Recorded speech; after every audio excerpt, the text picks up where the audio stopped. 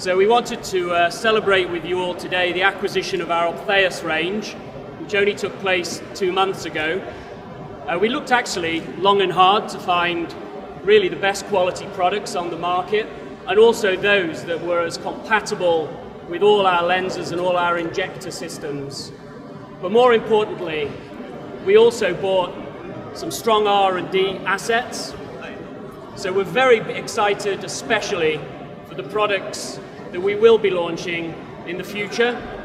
And we're going to be doing that R&D and that technical development in conjunction with Professor Arshinoff, who we've brought along um, today to uh, say a few words and to, uh, to cut the cake in celebration. So, Professor Arshinoff. So Rayner is an old company with a long history in IOLs. But you know, they're not an American company. American companies are known to make rash decisions.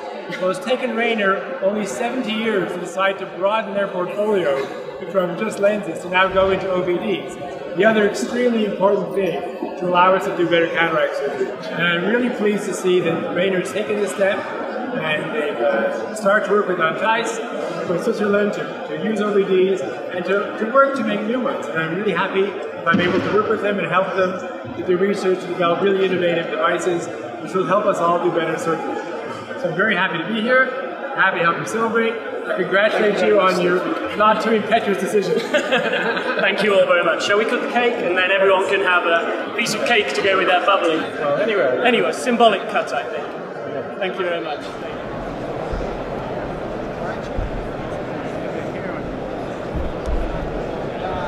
It's interesting that, you know, Rayner was the company made the first intraocular lens in the world.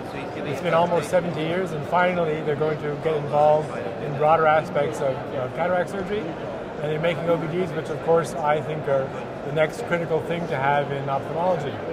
So they've uh, liaised with Ophteis, a, a Swiss company that makes a whole range of OVDs, and I think they're going to be doing research to try to look for innovative ones. Of course, there are multiple companies always looking to do innovative things, but there haven't been many innovative ones coming out in the last four or five years. Uh, some people get interested and they lose interest, and I think it'd be nice to see them and a few other companies starting to show interest as we do new things and we do more phakic IOLs, look at femtophaco. The uh, procedures we're doing are changing a bit, and I think the OVDs haven't kept up.